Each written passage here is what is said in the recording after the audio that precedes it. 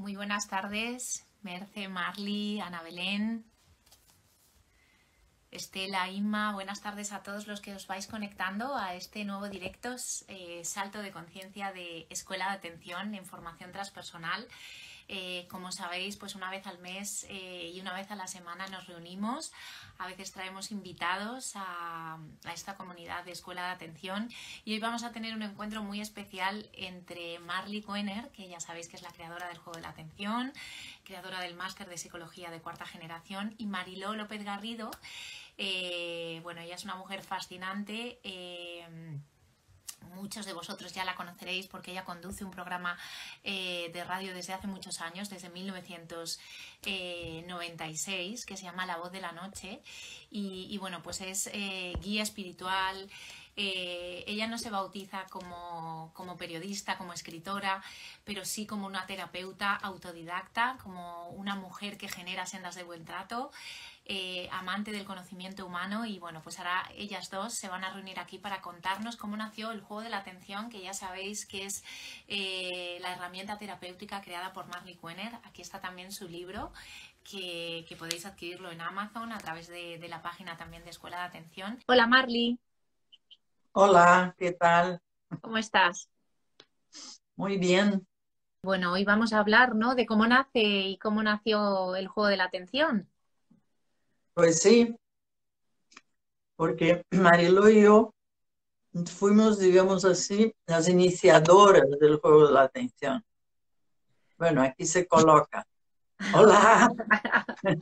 bueno, pues ya, ya, ya estamos aquí. Marilo, bienvenida. Muchísimas gracias la verdad que este es un encuentro muy especial. Mm. Eh, yo te he presentado antes un poquito y, yo lo que voy a hacer es estar aquí observando, escuchando ¿no? esta conversación entre dos grandes maestras para que vosotras mismas pues estéis. Yo estaré atenta también un poco al chat, a las preguntas que vayan haciendo, pero sobre todo para que vosotras mismas eh, comencéis ¿no? contando cómo se inició también ese juego de la atención. Así que muchas gracias y bienvenida. No te vayas, Samantha, que tengo una pregunta para ti. No, yo me quedo aquí, yo me quedo aquí, escuchando y observando. ¿Vamos a estar o, te dejamos de ver? No, no, yo estoy aquí, yo estoy viendo y escuchando y atenta, pero sobre todo es que, también... es que tengo una cosa que me preocupa un montonazo y digo, se lo tengo que preguntar a Samantha porque si no voy a estar tranquila en toda la entrevista. Claro, tú no, no te preocupes, comparte para no preocuparte. ¿Te lo puedo preguntar? Claro. Samantha, ¿cuántos sombreros tienes? ¿Cuántos sombreros Tienes un sombrero distinto. Pues tengo muchos, la verdad que de siempre me gustaron mucho los sombreros y, la verdad que es como una cosa que va siempre muchas veces conmigo. protegiendo, el chakra, protegiendo el chakra, Marley. Mira, te puedo decir que tiene una colección inacabable, Hombre. porque cada vez me sorprende. Es que he empezado a ver vídeos de ella y cada día un sombrero y digo, pero Dios mío, qué mujer. Qué bueno, también así, si no vamos bien peinados en un día, pues también así, oye, nos viene muy bien también. pues nada, pues yo, quería, pues eso, daros comienzo para que, nos contéis, ¿no? Porque vosotras os conocéis ya desde hace muchísimos años y, y cómo nace ese juego de la atención. A ver, bueno, Mariló, ¿cuándo nos conocimos? ¿Hace tanto tiempo? Yo estaba, echando cuentas, Marley, y más de más de treinta y pico años. Más de treinta y pico años. Pues yo creo que treinta y cinco años, treinta y casi cuarenta años. Porque el juego de la atención nació con, con nosotras. Claro. Imagínate. Yo, yo creo que tú no te acuerdas muy bien de cómo empieza el juego de la atención, Marley. Me acuerdo perfectamente. A ver, mira. Yo sé que lo que no me acuerdo es cómo nos conocimos realmente, pero bueno, me parece que fue en algún grupo, alguna cosa que, hice, ¿no? Eh, yo, como todo lo maravilloso que tiene la vida, eh, eh, como todo lo maravilloso que tiene la vida, descubrí a Marley porque tenía una crisis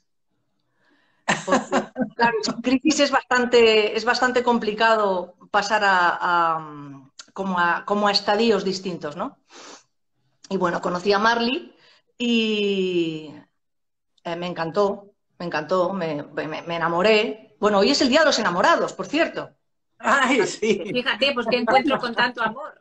Es un encuentro de amor total. Bueno, de ese enamoramiento nació el juego La Atención en realidad, Sí. porque eh, después, ¿qué pasó? Que yo me fui a Brasil un tiempo y entonces me acuerdo que tú habías escrito un Espera, libro. espera, espera. No, no, no, Marley, te estás adelantando. Hay que hacer una previa. Hay que hacer una previa Ah, con el fútbol. Como en el se ve que tú eres periodista, pues claro, no pierdes vas, a dar el comba titular, aquí. vas a dar el titular, pero hay que, hay que tener ganas, ¿no? Vamos a ver, yo tengo una crisis mm, potente, ¿no? Y lo que quiere decir que estoy bastante viva.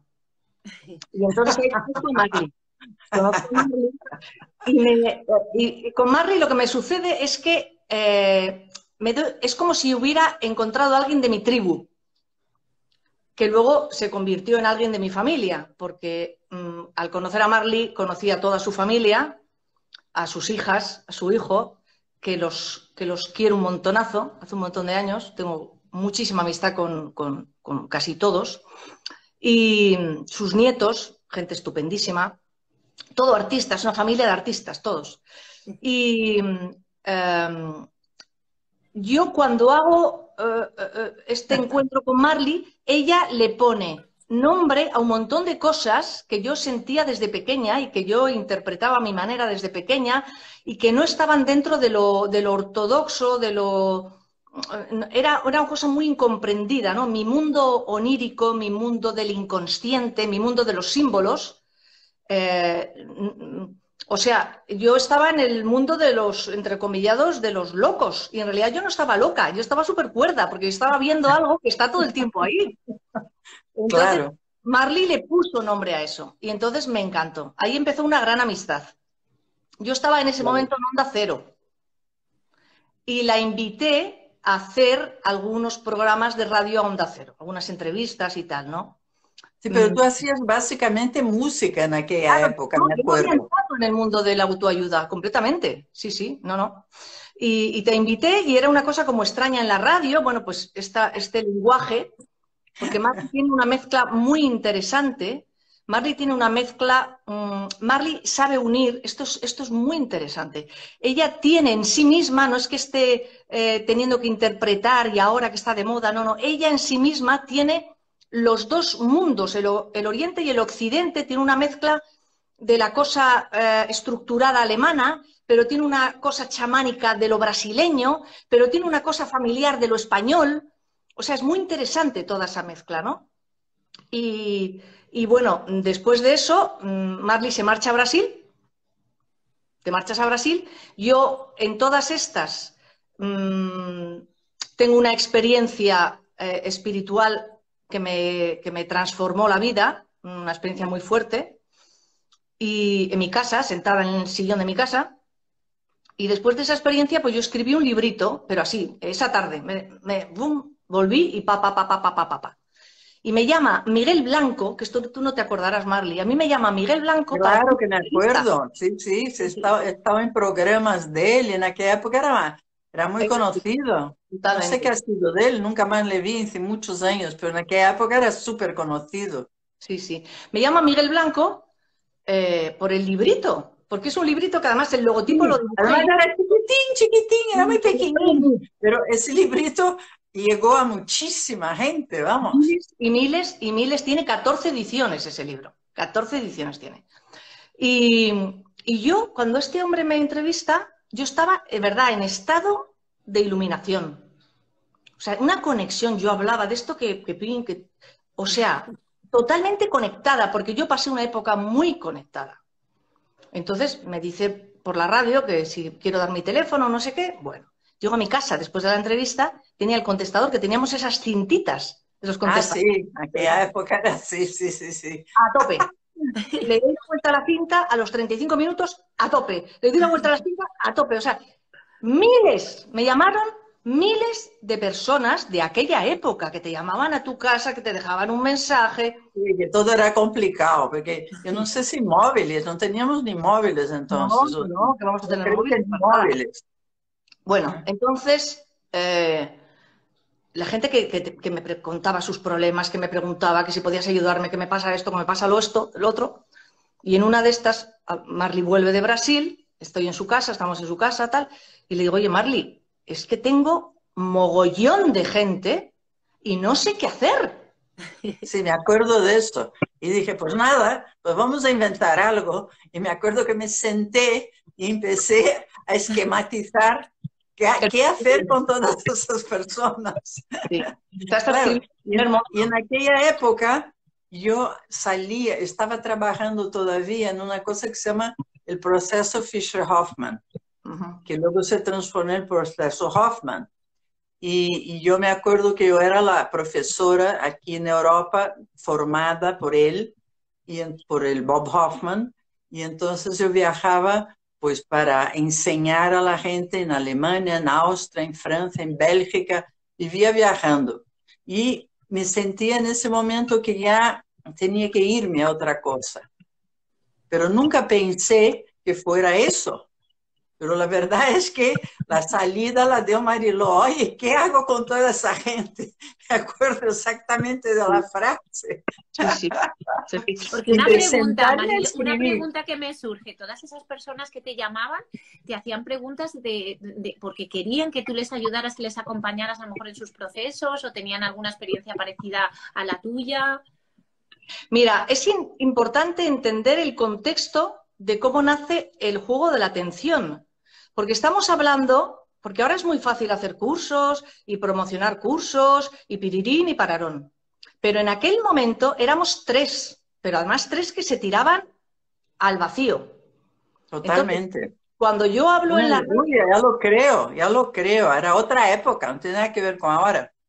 Cuando yo hablo en la radio, eh, yo hablo pues del amor, hablo de la compasión, yo qué sé, yo no sé de lo que hablé, vamos, pero yo estaba como, estaba como enchufada, muy enchufada. Entonces la gente conectada, enchufado, la enchufar. Porque en realidad lo que nosotros queremos es enchufarnos. claro. enchufarnos. claro que sí. Entonces me llamaba, cada uno me llamaba, pues uno con un problema, otro que se había muerto no sé quién, otro que estaba enfermo, otro que... Y bueno, pues porque pues es como cuando ves un, no sé, alguien en una presencia, ¿no? Que no, estoy comparándome con una presencia, pero bueno, Marley y yo estuvimos en Buenos Aires con Dalai Lama, ¿te acuerdas, Marley? Sí, perfectamente, que me colaste, porque ella tenía un pase de periodista y me coló. y en aquella época él estaba contando que estaban haciendo pruebas con sus monjes, ¿te acuerdas? Sí, sí. Y luego acabó en el mindfulness que ahora está tan de moda.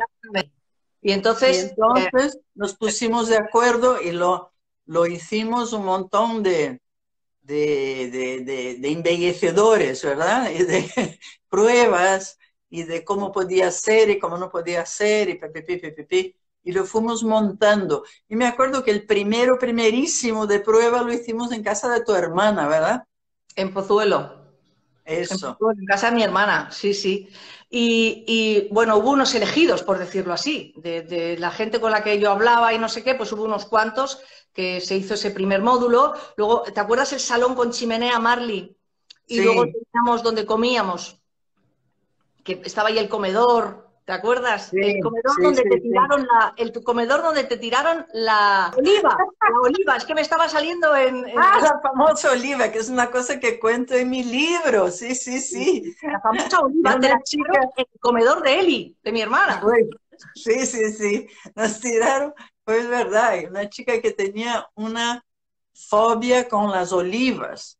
No, no, pero ella no contó. Ah, sí, sí, no, ella dijo que no hubiera en la comida, en la comida no Pregunto, ¿hay, tenemos aceitunas en la comida? Porque las tengo una manía que no puedo coger. Digo, ah, pues yo qué sé. Y claro, había aceitunas.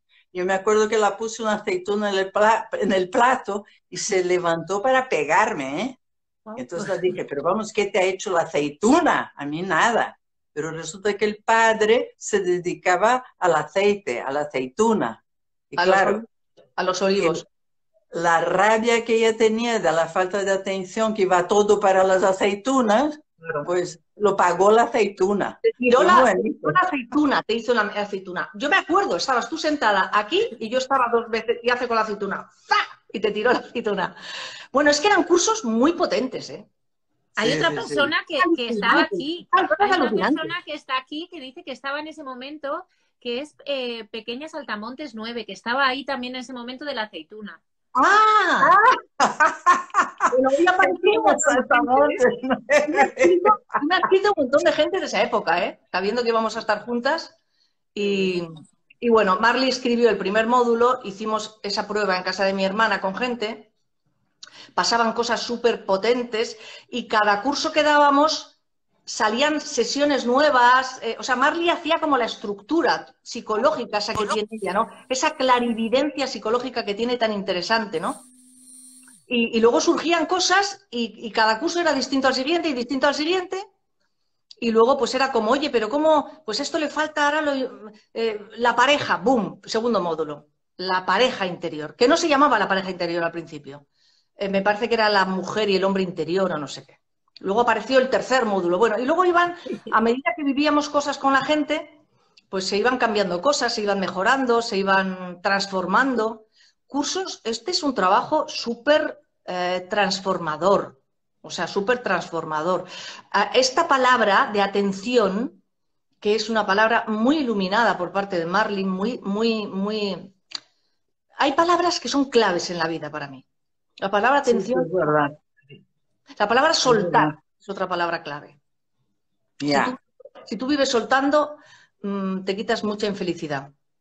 Pero fíjate, tu atención, Marley, hablando un poco de lo de aceituna, eh, estaba pensando, hoy eh, estaba, fui a nadar y, iba ahí, estaba con mi bicicleta y estaba pensando, mm, eh, donde pones la atención eso crece, ¿no? Que este es como un mantra de Marlin muy interesante. Sí, sí ese, lleva treinta y pico años, esa frasecita, acompañándome. Pero, pero, donde pones la atención, eso amas. Esa también se la puedes añadir en un punto y coma. O sea, si yo, ¿qué quiere la gente? La gente quiere que la des atención. ¿Qué está pasando ahora mismo aquí? Aquí estamos consiguiendo que la gente nos atienda. O sea, la gente cuando te atiende, en la atención tú estás dando lo mejor de ti. Es que la atención eres tú. Yo te estoy mirando y te estoy viendo. Yo te estoy oyendo, pero te estoy escuchando. O sea, que alguien, y esto es una cosa que se está perdiendo, pero así, a pasos agigantados, ¿no? Con, esta, esta, desatención que tenemos también con las redes, con estás con la familia, estás con el móvil, estás en la cama, estás con el móvil, estás, o sea, está, está, pero al final, ¿qué, qué, estamos buscando? Estamos buscando que nos atiendan, porque al, ver el Internet y todo esto, estamos buscando también ser atendidos. Entonces, es, es muy importante la, la, atención, o sea, ¿qué quiere, ¿qué quiere la gente? La gente quiere que la mires, que la escuches, porque cuando atiendes amas. Yo te estoy diciendo, cuando te estoy Atención es amor. Atención es amor. Entonces, imagínate. Estamos todos atrás de atención porque atención es amor. Además, eh, hasta físicamente tu cuerpo se altera cuando tienes atención o cuando no tienes atención. O sea, hay una alteración física en nosotros cuando alguien te da de verdad atención, cuando alguien está de verdad ahí contigo. La atención, además, una Marley, la atención tiene una cosa estupenda. Eh, la atención es momento presente. Claro. Más claro. que nada. Es momento presente puro. Y fijaros que me viene una cosa, amar es cuidar, y cuando tú cuidas esta conexión, cuando tú estás en presencia, en escucha, en esa comunión con el otro, es cuando sucede ese amor y ese cuidado, porque si no, al final eh, no estás ni en presencia ni estás esperando hablar, eh, nunca escuchas al otro y siempre quieres intervenir desde otro lugar, pero cuando estás conectado y en esa presencia y en esa escucha es cuando al final se produce también ese encuentro con, con corazón. Es verdad. Uno de los lugares a los que más fuimos fue a Galicia. Mucho, es verdad. Y ahí tuvimos experiencias increíbles. Las cosas que vivimos en Galicia. A mí casi me meten en la cárcel una vez. Por leche de vaca, ¿te acuerdas? Sí, sí, sí.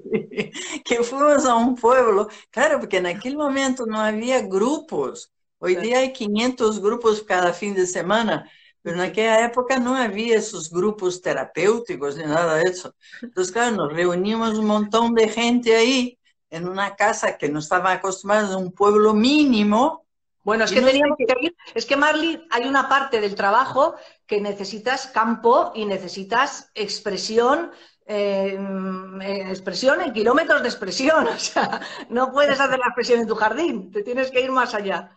Y entonces nos buscamos casas por ahí perdidas en el monte. Y entonces en una de esas yo dije, ostras, un pueblo, vacas, leche de verdad, leche de verdad. Aunque ahora tengo un conflicto con las vacas, ¿no? Las pobres, pero bueno. Y entonces, me fui a por leche. Marley se quedó ahí dando su clase, no sé qué, me voy a por leche, le pido a un señor ahí que estaba ordeñando, digo, oiga, ¿me daría usted un poco de leche, tal, no sé qué? Bueno, por favor, porque venimos de la ciudad, en la ciudad, fíjese usted, le ponen agua a la leche. Ah, sí, sí, sí. y yo llego toda contenta, Marley, vamos a merendar con leche de verdad, tal, sé qué. Nos toca la puerta, pim, pim, pim, pim, la guardia civil en la puerta.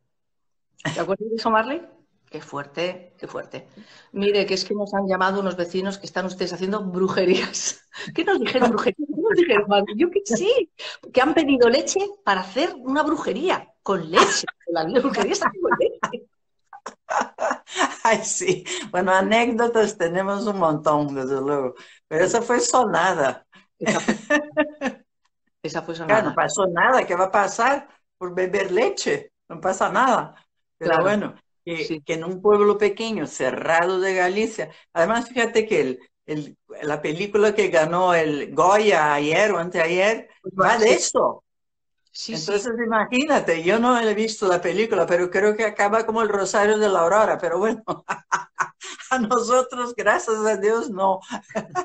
Y ahí pasamos a, bueno, luego nos pasaban muchas cosas, viajábamos mucho en coche porque Marley tenía la, la gentileza, yo, yo tenía fobia, muy, una fobia muy grande en ese momento a volar, que se me pasó luego, fíjate, se me pasó.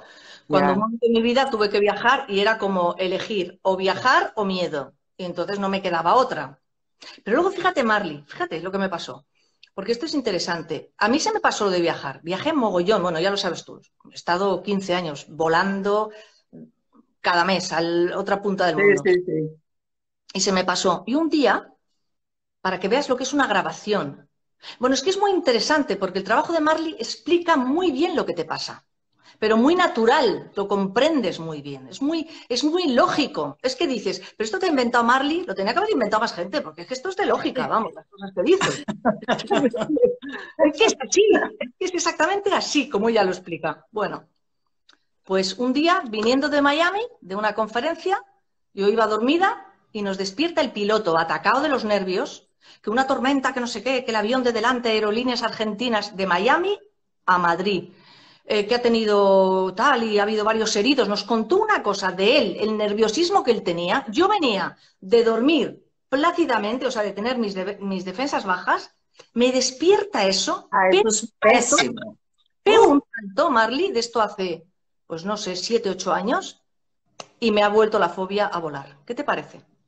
Pues me parece, porque es que vamos, cuando tú estás en esa especie de dorme bella, que estás medio aquí, medio allá, entran, graba todo. Sí. Y una noticia así, llena de nervios y de peligros, claro, normal. Y ahora mismo te está, te está difícil volar otra vez. No, no como cuando estaba contigo, que hacíamos casi todo en coche, por lo mal que lo pasaba yo. Hicimos un viaje a Coruña en avión y Marley estaba tan pancha y yo estaba ahí en la cabina agarrada. Y decía Marley, ahora comprendo lo que te sucede con los aviones. y ella tranquilamente comiendo. Yo estaba que me daba un patatús. Entonces, no tan así, porque eh, tengo todo un trabajo. Además, yo me busco trucos, ¿no? Esto le digo a la gente con la que trabajo, ¿no? Le digo, buscaros vuestros trucos. Uno de los claro. trucos que he buscado mucho ha sido ponerme al final de los aviones y cuando se mueve, yo me digo, Marilo, se mueve porque estás en la cola y la cola se mueve, no se mueve porque se va a caer. Ah, vale, vale. Entonces, me tranquilito, me busco... Vas hablando contigo misma. Me busco trucos. No, no como antes, pero sí, aquello me, me o sea, me, fue como que reabrieron una grabación. Claro.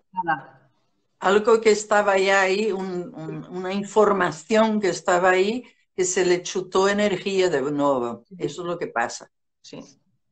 Sí. Y bueno, nada, que viajamos mucho, fuimos a muchos sitios y Marley iba, cada X tiempo se inventaba un módulo nuevo. Bueno, más que inventarme, es que eran las necesidades, era como todo eso está resuelto y ahora surge un problema y era el problema casi común. Y digo, pues eso hay que solucionarlo en grupo otra vez. Y así fue yendo hasta los seis módulos que tiene hoy día el juego de la atención. Yo, me quedé, yo me quedé en el quinto. Ah, el sexto no llegaste a vivirlo, sí. Me quedé en el quinto porque yo empecé a hacer, me contrató Onda Cero, era Radio Rato en aquel momento, para hacer, eh, para hacer La Voz de la Noche. Ah, es verdad. Ah, es verdad. Y entonces tú tuviste que dejar. Que era, es que no daba. O sea, yo terminaba la semana y me tenía que ir el fin de semana a hacer cursos con Marley. Era imposible, no me daba el, el cuero que diría un, argentino. Y ahí es donde tú haces eh, Huellas de lo Sagrado. Ahí nace ah, En el programa de Mariló que se llamaba la voz, En la voz de la noche, claro, era la voz de la noche. Y ahí, nace Huellas de lo Sagrado, que la los miércoles. Sí, y ahí tenía yo un espacio que se llamaba Huellas de lo Sagrado. y ahí... los programas los estoy recuperando porque estaban en cinta. Todo el mundo ya, claro. Y los estamos pasando a WAP para, eh, para subirlos y convertirlos en podcast, porque es, son, vas a alucinar, Samantha, son eh, contenidos de hace 25 años. Fíjate. Y es que lo flipas, es que es la cosa más, más vanguardista que te puedas imaginar. Qué visionarias, ¿no? Porque en aquella época, hace 25 años, ahora no se hablaba, claro, hablar de esto era como una cosa como atreverse y ser osado a, contar pues unas experiencias que cada uno, que vosotras vivíais y que, y que entendíais como normales, pero en aquella época, claro. Además, yo me acuerdo que tú, Mariló, en esa época hacías la agenda del crecimiento personal cada año, no sé cuántos años lo hiciste, un mogollón de años. 19 años, ahora, ahora la hago online, en vivo. Pero en aquella época era en papel. Sí, papel O sea, yo, hacía una, agenda y una meditación en cassette. Sí, sí. Sí, sí, en cassette, es verdad. Iba el cassette dentro de la, de la cosa. La agenda. Que alguna agenda me hizo la portada una de tus hijas. Es verdad, es verdad. Porque aquí esta familia de artistas, pues cada uno tira por donde tira, unos por la música, otros por la pintura. Y, sí, así fue. Y nada fue, muy, bonito, sí, sí. y esa agenda, pues, yo no sé, años y años, la hiciste 20 años o así seguidos, ¿no? 20 años, 21 años. y mientras tanto... Ahora la, hago en, vivo, o sea, ahora hago el grupo de la agenda. Ya, ya, ya, ya. 15 días desarrollando temas. Claro, en la agenda era enero un tema, imagínate la espiritualidad, febrero la verdad, cada año era una cosa distinta, más afirmaciones, más propósitos del mes, más. Tenía un trabajo, es que era una cosa que no se hacía. Es que no se sí, es verdad, en aquella época nadie lo hacía. Y yo me acuerdo además que a todo eso el programa iba subiendo y subiendo y subiendo de audiencia. Y hubo un momento en que el teléfono no paraba. Yo tuve que contratar una persona para contestar el teléfono, porque si no, no hacía nada más. Fíjate tú cómo fue la cosa. Sí. Y ahí os escuchaba Sergio Fernández ahí también, ¿no? Que es donde también conocimos. Ah, es verdad, que Sergio vino a vernos alguna vez, verte a ti, escucharte a ti. Te voy a contar lo de Sergio, porque lo de Sergio es muy bonito. Quien escuchaba la voz de la noche era su madre. Ah, era su madre. Su madre. Y su madre Fíjate tú qué tía, ¿eh? Tan visionaria. Su madre decidió que su hijo, que iba al colegio, para su hijo era muy bueno escuchar la voz de la noche, que no es como ahora, que te pones a escuchar un podcast cuando te da la gana. Entonces su madre le dejaba escuchando la voz de la noche hasta las 2 de la mañana y el niño dormía 6 horas. Y el tío le encantaba el programa, pero tenía 10 años, Sergio. Fíjate. Ya, ya. Y entonces, luego pasó no sé qué, yo me fui a no sé cuántos, hago la voz de la noche en América, 20 años después, 15 años después. Y un día viene a la radio, a Buenos Aires, a Radio Continental, viene, yo les dejaba siempre entrar a los oyentes, yo decía a todo el mundo el que quisiera que viniera, ¿no? Y aparece Sergio con su madre. Su madre hizo nuestro curso. Ahí, su madre no me digas. Fíjate. Fíjate. hizo el primer módulo con nosotras. Y entonces aparece su madre, que yo la reconocí, Porque la gente se cree que como hemos hecho terapia, tanta gente no nos acordamos. Yo me acuerdo de todo el mundo. Me puedo no acordar de tu nombre, pero de tu rollo me acuerdo. sí, es verdad. el culebrón, ¿no? Queda marcado. Culebrón me porque yo lo siento, cuando te veo lo siento. Y entonces, me, tal, Marilo, yo hice con vosotras el primer módulo, no sé cuánto, no sé qué. Y había querido hacer ese viaje con su hijo y habían venido a la radio. Y en, ese, en esa entrevista, cuando acaba la radio, nos quedamos charlando y me dice Sergio, yo quiero trabajar en la radio. Y yo le dije, ya te puedes poner a hacer mantras, porque es que este tema, pasan de este tema, o sea, no sabes lo que es sacar un programa de autoayuda, que sigue siendo un movidón sacar un programa de autoayuda. Fíjate tú, pues ese fue de, verdad, yo creo que le influyó mucho tu programa, pero muchísimo, vamos. Lo ha contado muchas veces él, eso, eso, muchas veces contaba que él de pequeño escuchaba el programa de radio, que se acostaba tarde, y fíjate, al final eras tú y, al final estabais las dos ahí en ese programa. Él luego hace un programa, un año, me parece que lo hizo o dos, con mucho esfuerzo, eh, sobre todos estos temas, y después de eso, él crea pensamiento positivo.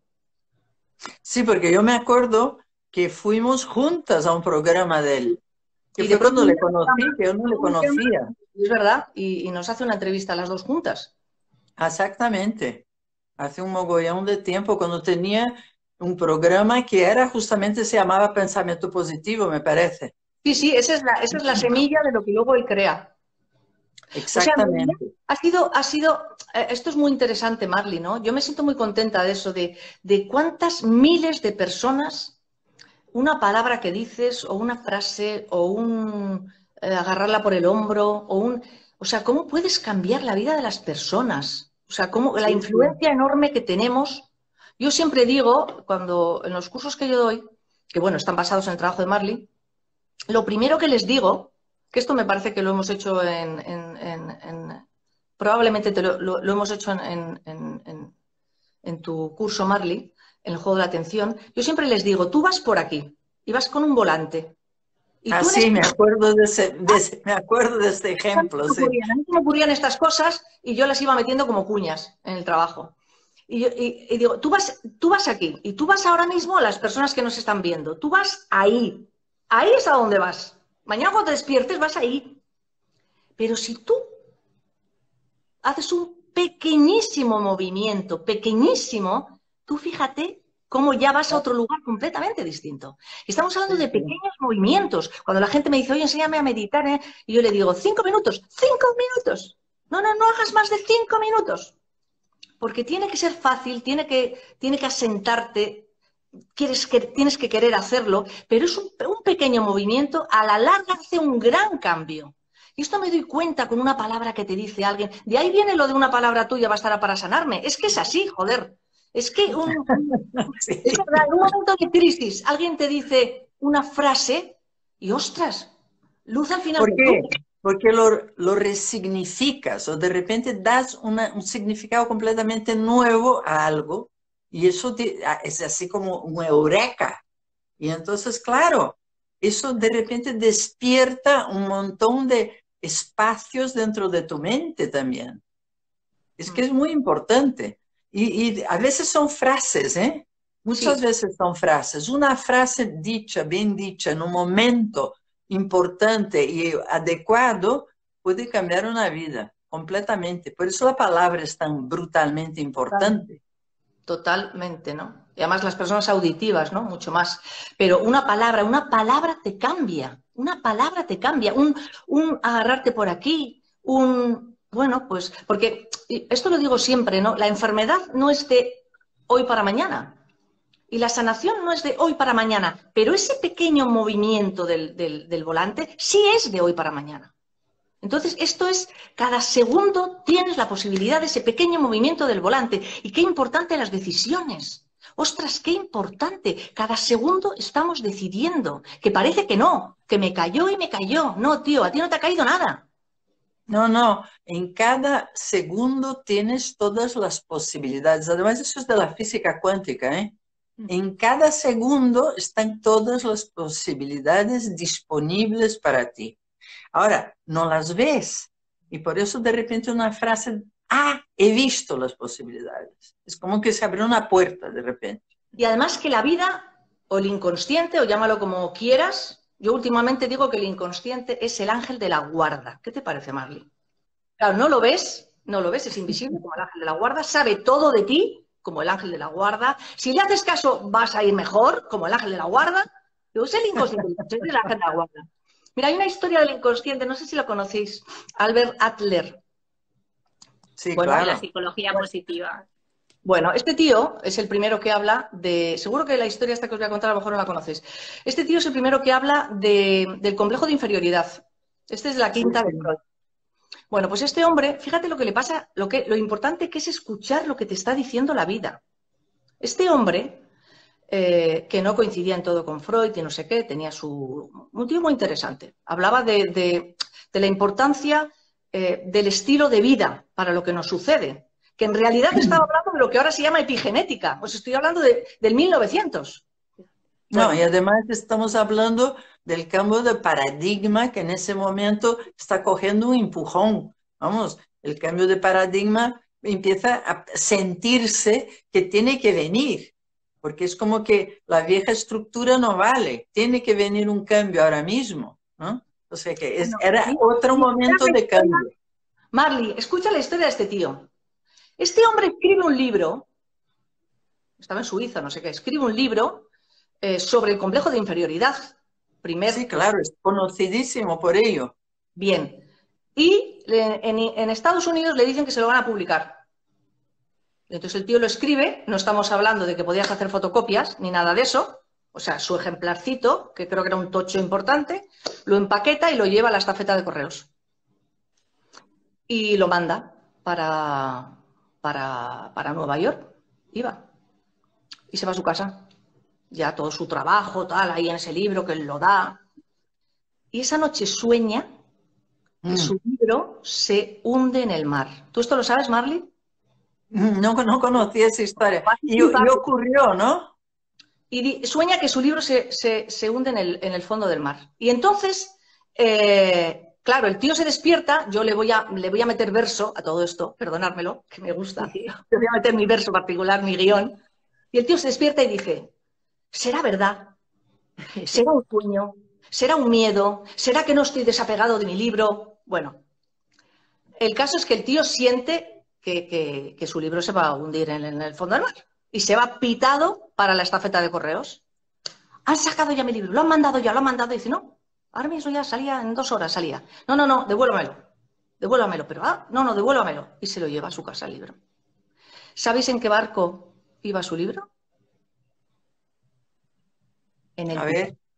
En el. No me digas. Fíjate tú.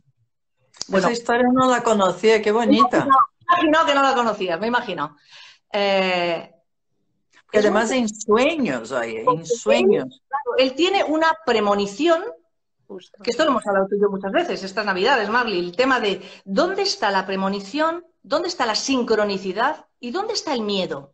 O sea, dónde está la línea, eh, dónde está la línea divisoria. Esto es porque este tío se puede despertar y decir, esto se lo he metido yo el verso, pero bueno, ¿será un miedo que yo tengo? ¿Será que no me quiero desapegar de mi libro? Esto es un miedo, nada, no, no voy a dar, no le voy a dar, porque ya me ha dicho Marley en terapia que son mis miedos, y que no le dé bola. claro, entonces tienes que, esto es muy importante el conocimiento personal, tú tienes que, charlar contigo. Claro. Y decir, a ver, ¿esto por dónde viene la onda? bueno, esto es el inconsciente. Esto es el inconsciente. Hombre, claro, imagínate. Que además está a tu favor, es tu amigo.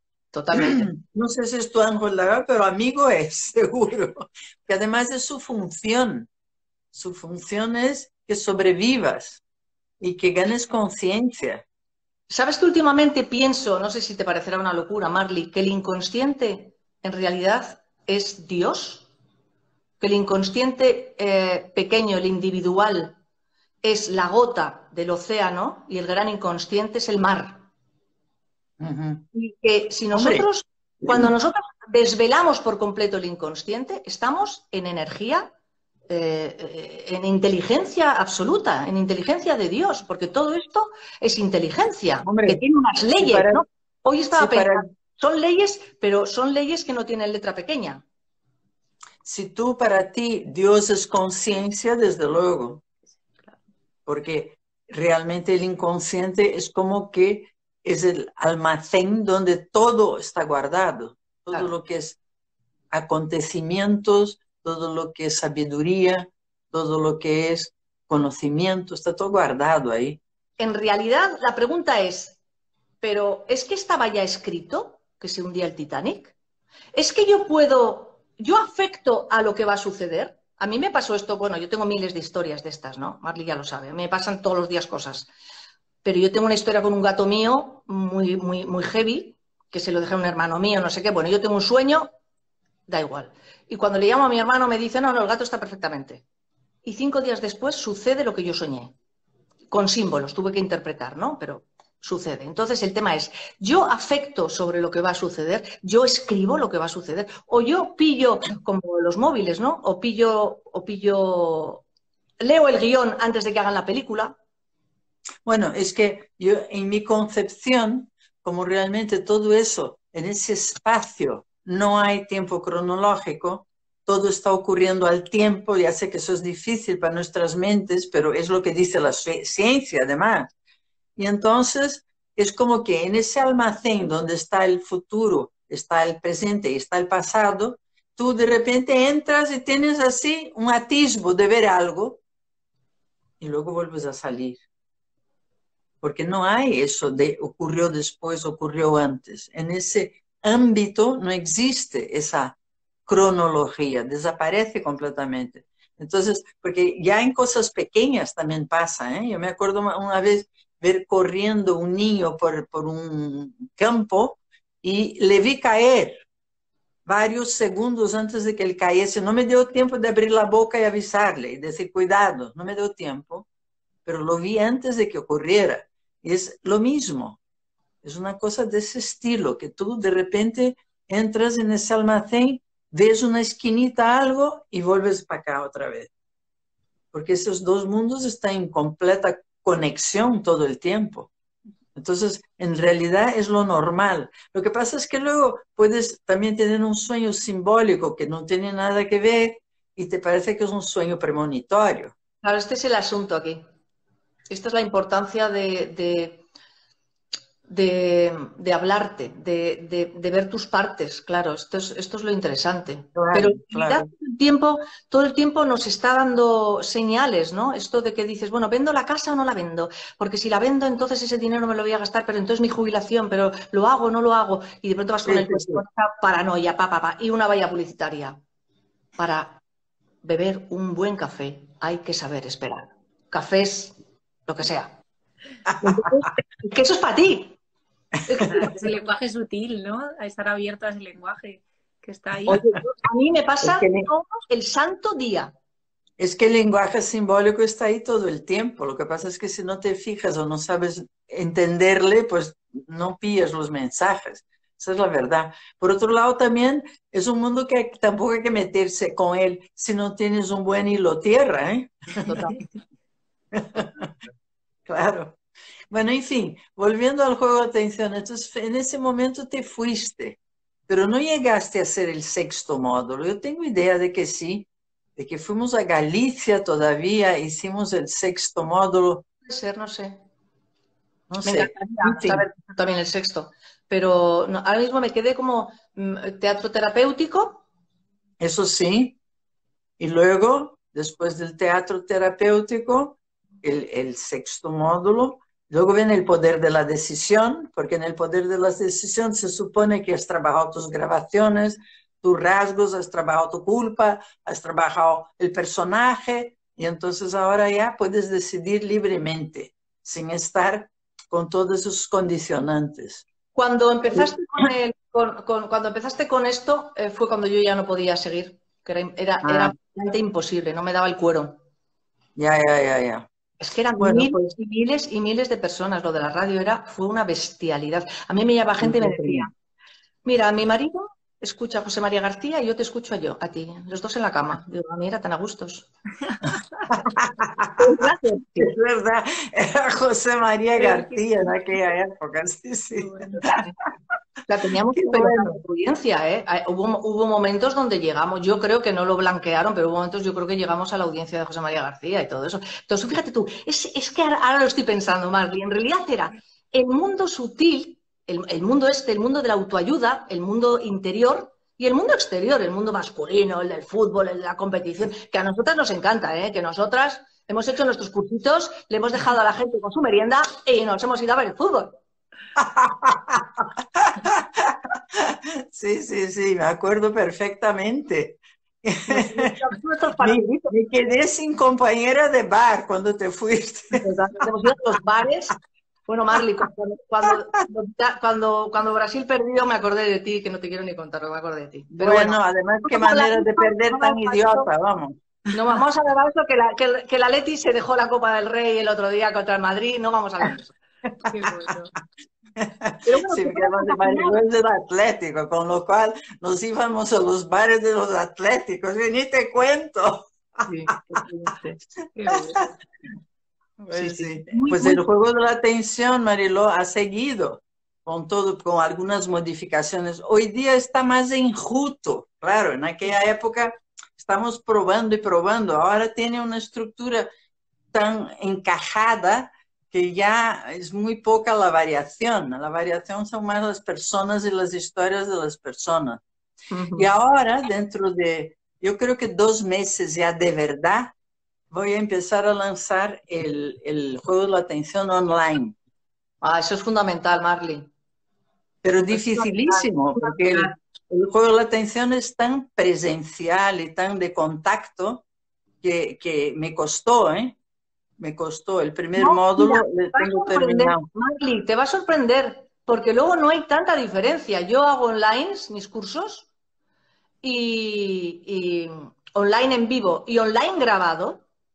O sea, luego la gente te permite. Sí, claro. Porque cambio, cambio, la voz, hago todo un tema de, bueno, de ingeniería de sonido, se cambian las voces y tal. Y el que escucha el curso, escucha lo que le ha pasado a esa persona, que no sabe quién es, porque se le cambia la voz y un montón de cosas, pero oye, toca, toca mogollón, toca igualmente. O sea, es, eh, eh, es, es, es, te vas a sorprender. Es absoluto, es, es, muy, es muy lo mismo. Te vas a sorprender.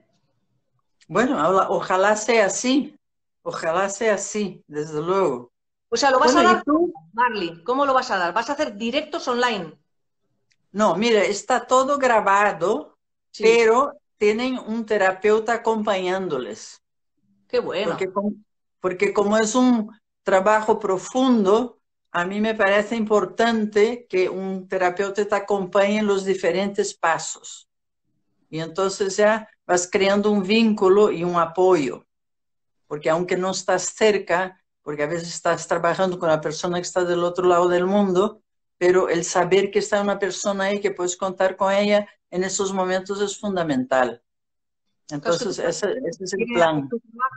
y que está en la otra punta del mundo. Es que es una pena no poder hacer tu trabajo. Tu trabajo es, como yo te, como yo te digo alguna vez, tú eres una cirujana del alma, porque para mí las enfermedades no están en la cabeza, están en el alma. Es verdad, y tanto. Es muy importante conectar con el alma de las personas para saber lo que les está pasando. Sí, además es lo que sana, ¿eh? Un contacto con el alma sana de verdad. Oye, ¿y tú qué estás haciendo ahora, Marilo? Lo digo porque nos quedan pocos minutos. Cuenta lo que estás pues haciendo. Pues yo, creé una plataforma que se llama Autoterapéutica, con cada kilo, que su logotipo es un paracaídas. Como todo lo que me pasa a mí, Marley, estaba haciéndole una sesión a una persona, estábamos hablando no sé cuántos, y yo, oh, ¿por qué no? Porque yo tengo miedo, porque tengo miedo. Y le dije, mira, mira, mira, mira. Tienes que tirarte. Tienes que tirarte. En la vida o te tiras o la vida se tira por ti. Digo, bueno, me tiro contigo, nos tiramos. Y ahí de pronto vi el paracaídas.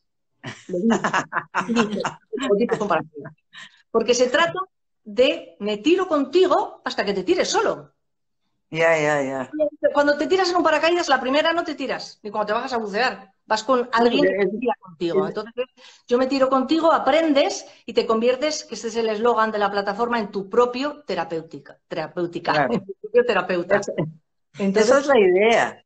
Esa es la idea del juego de la atención también. Claro, es que tú sepas valerte a ti mismo. Porque estar ahí toda la vida dependiendo de un terapeuta, no. Además, que el terapeuta tiene su rollo. Claro. Ya, aquí te pones los guantes asépticos, pero bueno, pero siempre está tu rollo ahí, ¿no? Esto es muy importante, ¿no?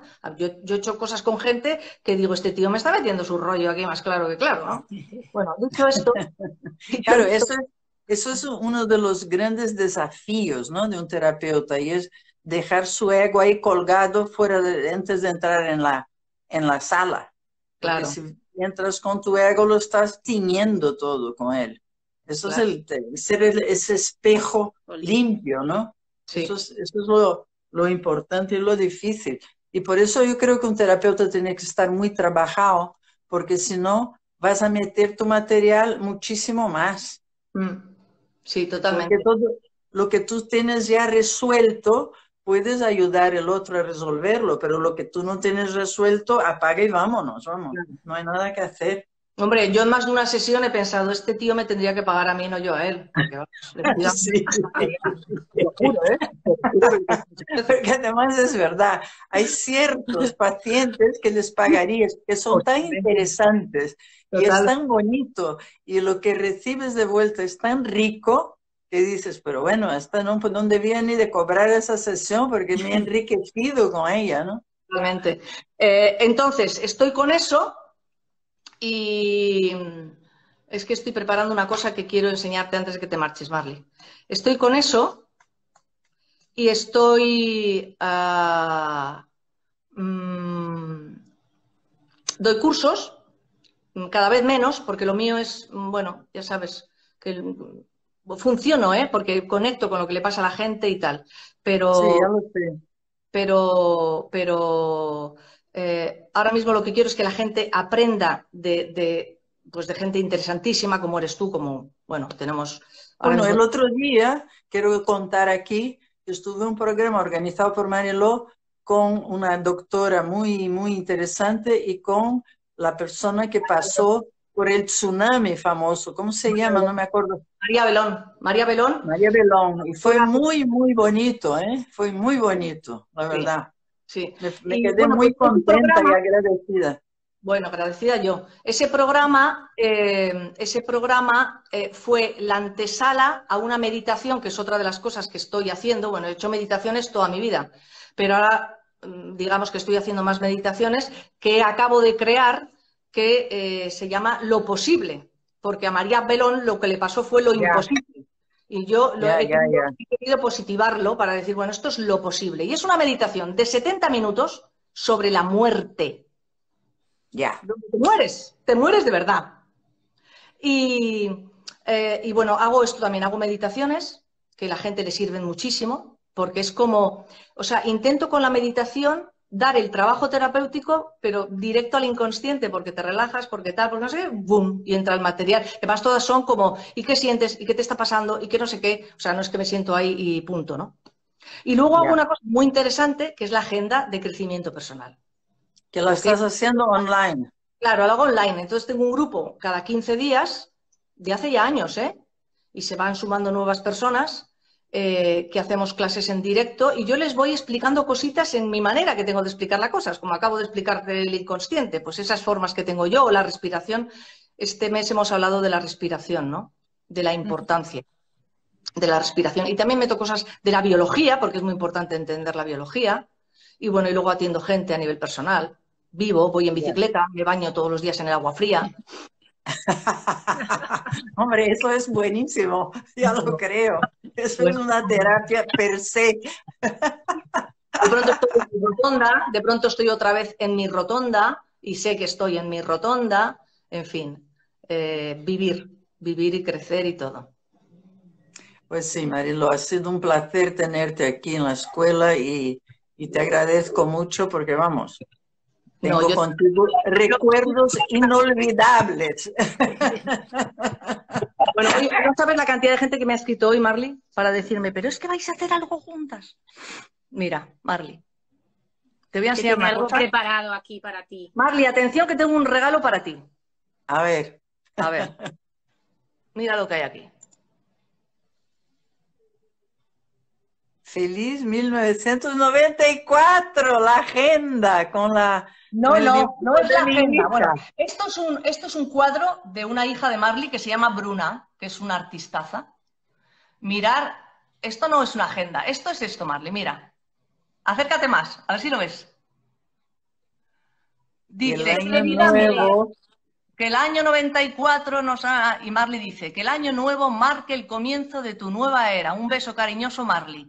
Porque nosotras, entre otras cosas, y fijaros que eran momentos que no son los de ahora, repito, le mandábamos a la gente su postalita de Navidad escrita a mano. Le mandábamos... Es verdad. Y esto es la carta mm, contando el juego de la atención y los módulos. Mira, Marley, purificación de la infancia. Madre mía. mira, el hombre y la mujer interior. ¡Ay, qué bueno! El tercer módulo, el espejo. Eso, hasta hoy. Una frase de Marley que dice, de la misma forma que necesitas un espejo para conocer el color de tus ojos, necesitas de los demás para conocer lo que se oculta en ti. Año 94. Teatro terapéutico. Y lo mejor está por llegar, Marley. Atención, mira. ¡Ah! Míranos en la época. ¡Qué bueno! ¡Qué bueno, Mariló! ¡Qué genial! Marley, ¿sabes por qué tengo esto? Tengo esto porque nosotros tenemos mucha gente que nos quiere y, eh, y gente que nos ha importado. Es que es verdad, la gente nos ha importado. Y eso la gente lo nota y lo siente. Esto es de una chica que se llama María José, que me escribe, me llama hace dos años con una crisis y no sé qué, y, me cuenta que hizo con nosotras los módulos y yo pensé, ostras, pues si me vuelves a llamar después de tantos años, no sé, me lo voy a pensar si yo lo he hecho bien. Pero esos procesos de la vida, ¿no? Donde vuelves a muchas cosas. Claro, claro. Y hoy, cuando se entera que vamos a tener esta reunión, me manda esto. Esta cosa sincrónica que tiene la vida tan alucinante, donde no lo preparas y va, aparece, ¿no? Ya, ya, ya, ya, es espectacular, espectacular. Oye, qué bueno, me encanta. Ha sido un placer revivir todo eso. Igualmente, Un placer. Así que muchísimas gracias, Mariló. una delicia. Tenemos que repetirlo, ¿eh? y contar alguna anécdota de esas que nos han pasado. Tendréis que escribir un libro, un libro de anécdotas de todos esos viajes. La verdad es que sí, ¿eh? a lo mejor eso es lo que tenemos que hacer, un libro de anécdotas. Porque vamos, mira que nos han pasado cosas. Yo creo que tú tienes que escribir otro libro sobre, sobre el juego de la atención, Marley. Bueno, pues me acaban de llamar ayer, ayer, de una editora muy conocida proponiéndome un nuevo libro. Pues eso es lo que tienes que hacer sobre además psicología transpersonal. Sí, sí, sí, Ahí es donde, donde tienes que meter, eso es, tienes que dejar ese legado, es muy importante. Bueno, está en muchas cosas, en el máster que tenemos de terapia transpersonal, en el juego de la atención, que espero que no acabe conmigo, y en fin, yo creo que tenemos ya un montón de técnicas que además mucha gente ya está empleando por ahí, porque son técnicas sencillas pero profundísimas. Y la verdad es que ese máster está enseñando a tantos terapeutas y tantas personas a entenderse y a entender al otro también. Cuando tú te entiendes, tienes una capacidad mucho mayor de comprensión del otro y eso ayuda siempre. Claro, Mariló, quiero repetir eso, ¿eh? porque lo he pasado genial. bueno, Bueno, en breve nos vamos a ver y planificamos, ¿vale? estoy a vuestra entera disposición un momento que no quiero que Samantha sea más que yo. La próxima traigo yo un sombrero también. ¿eh? La verdad que muchísimas gracias a, las dos, sobre todo la manera de abordar a través también del humor, ¿no? de, quitarle hierro a, esas dificultades que hay. Creo que ha sido fantástico escucharos. Toda la gente ha estado aquí encantadísima con muchos comentarios. Se apunta una pregunta que la dejo mañana para el consultorio transpersonal que tenemos con Marley. Y de verdad que gracias porque ha sido un placer. Yo me lo he pasado también bomba y he apuntado un montón de cosas. Lo dejamos aquí grabado. Gracias Mariló, gracias Marley por, por hacernos vivir desde otro lugar. Así que gracias a las dos. Gracias, gracias a las dos. Y, hasta la próxima. La próxima. Gracias a todos. Adiós. Chao, chao. Chao.